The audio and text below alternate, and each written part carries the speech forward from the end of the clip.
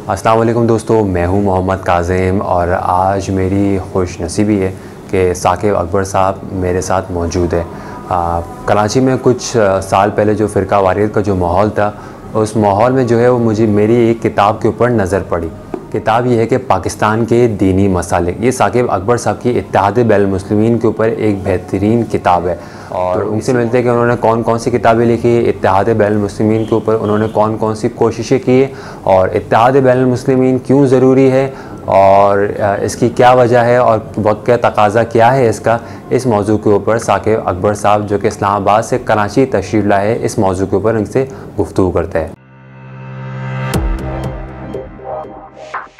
आउज़बिल्लिनशैतानरजीम बसमीम हम एक अरसे से पाकिस्तान में मुसलमानों के माबैन हम महँगी के लिए जद्दोजहद कर रहे हैं। इसके लिए हमने पहले अखवत अकेडमी के नाम से भी एक इदारा बनाया, फिर अलबसीरा के नाम से एक इदारा जो है, वो भी इल्मी तहकीक़ाती इदारा है। उसमें भी हमने अपनी तरजीहत में इतिहाद उम्मत के लिए काम जो है, उसे शामिल किए रखा है।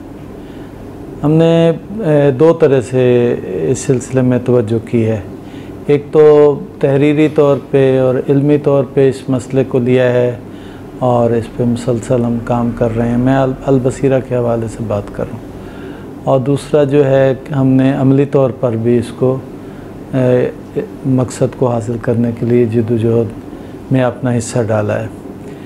तो जहाँ तक इल्मी तौर पे काम की बात है, एक मेरी बड़ी मरूफ किताब है, पाकिस्तान के दीनी मसालिक, जिसका हमारे अज़ीज़ मोहम्मद काजिम ने भी ज़िक्र किया है। और उसके कई एडिशन जो हैं, वो छप चुके हैं। उसमें अपना एक चैप्टर बरेलवी अहल सुन्नत के बारे में है, एक देवबंदी अहल सुन्नत के बारे में, एक अहल हदीस के बारे में है, एक शिया असनाशरिया के बारे में है, इसमाइलिया के बारे में भी एक मख्तसर चैप्टर जो है उसमें शामिल किया गया है और उसकी खसूसियत ये है कि वो अहल सुन्नत के तमाम और अहल तशैयों के जो मुमताज़ कराम हैं, उनके साथ, हम महँगी के साथ लिखा गया है, उनसे इंटरव्यू लिए गए हैं। जो लिखा हुआ मैटर था उनको दिखाया गया है, फिर उन्होंने तायद की है, फिर उन्होंने तोसीक़ात लिखी हैं सब मसाले के ने। तो इसलिए ये अपने लिहाज से कि भाई एक साथ तोसीक़ात भी लिखी हों कि भाई हमारे बारे में जो लिखा गया है वो दुरुस्त है। इस लिहाज से एक गैर मामूली किताब है, इसलिए ये बहुत मकबूल हुई है। एक और हमारी किताब है जिसका उनवान टाइटल है, उम्मत इस्लामिया की शराजा बंदी उसमें हमने मुश्किल को बयान किया कि हैं क्या, इसकी वजूहत क्या हैं, फिर इसका हल क्या है कैसे हम इसमें एक हम आहंगी पैदा कर सकते हैं? इसकी मुमकिन क्या क्या सूरतें हैं? आइडियल क्या है? काबिल अमल क्या है? और इस सारी चीज़ों को उसमें डिस्कस किया गया है और वो भी खासी मकबूल हुई है। उसको भी ने भी पसंद किया है, आवाम में भी उसका बड़ा असर है। उसके अलावा एक किताब है हमने, उसमें कंपाइलेशन वैसे बुनियादी तौर पे की है, लेकिन ये कि उसमें कई चैप्टर जो हैं हमारे लिखे हुए हैं। इस्लाम और इंतहा पसंदी। उसमें भी इस मसले को ख़ासा अच्छे अंदाज से बयान किया गया है। आलमी सतह की कोशिशों को भी बयान किया गया है। मुल्की सतह की कोशिशों को बयान किया गया है, जो हम महँगी के लिए ज़रूरी हैं। लेकिन इस ये किताब जो है, इस्लामी नज़रियाती कौंसल ने जो है इसको शाया किया है। दूसरी दफ़ा भी छप गई है। ये बड़ी बड़ी मुफीद किताब है। बड़ी अहम डॉक्यूमेंट्स जो है ना, उसके अंदर मौजूद हैं।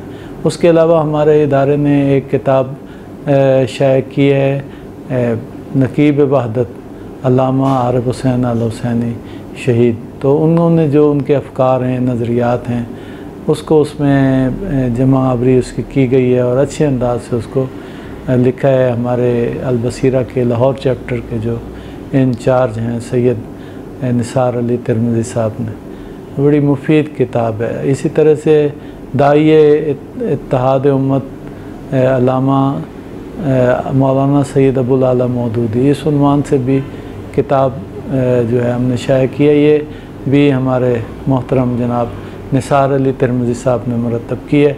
इसमें मौलाना मौदूदी मरहूम ने जो इतिहाद उम्मत के लिए कोशिशें की हैं, जो उनके अफकार हैं, उसको अच्छे अंदाज से पेश किया गया है। उसके अलावा भी कई किताबें हैं, उस पर काम हो रहा है।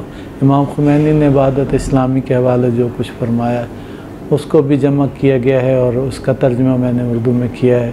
इस वक्त तो ईरान में छप चुकी है लेकिन पाकिस्तान में भी हम छापने का इरादा हमने किया हुआ है। तो इसके अलावा हमने अमली काम भी बहुत सारे किए हैं। मैं ए, मिली यकजहती कौंसिल का डिप्टी सेक्रेटरी जनरल हूँ और पूरे पाकिस्तान में हमने तमाम मजहबी जमातों को उसमें इकट्ठा किया है और भी ज़ाहिर कायदीन जो हैं कराम जो हैं उनकी बड़ी इस सिलसिले में ख़दमात हैं मुल्क में एक हम महँगी पैदा करने के लिए।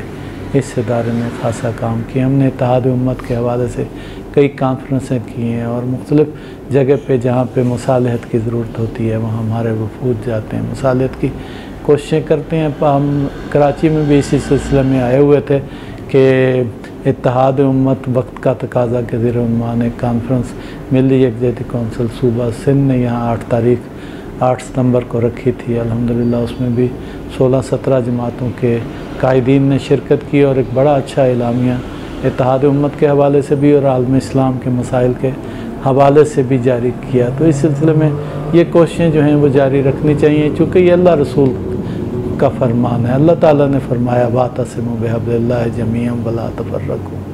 तो अल्लाह ताला का हुक्म है, नबी पाक ने फरमाया, मुसलमान एक जसद वाहिद की तरह से हैं, एक हिस्से को तकलीफ़ पहुँचती है तो दूसरे हिस्से को भी बेआराम कर देती है। तो ये, जो ये एहसास करता है, वो वाकई इस उम्मत का हिस्सा है। और जो ज़ाहिर है, उम्मत के किसी हिस्से को नुकसान पहुँचाने की कोशिश करता है, वो ख़ुद अपने आप को इस उम्मत से दूर कर देता है और खैर खा फिर नहीं रहता इस उम्मत का। तो ये पैगाम है, हम ले कर फिरते हैं। तो मेरा ख्याल है, इस सिलसिले में सब मुसलमानों को चाहिए अपना हिस्सा डालें और अल्लाह ताला हमारी मसाई को भी कबूल मंजूर फरमाए। बहुत शुक्रिया। वसलम वरहमल वर्का